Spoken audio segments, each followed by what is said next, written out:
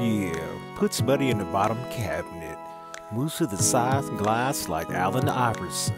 The release, crispy. The shot, in fuego. Splash.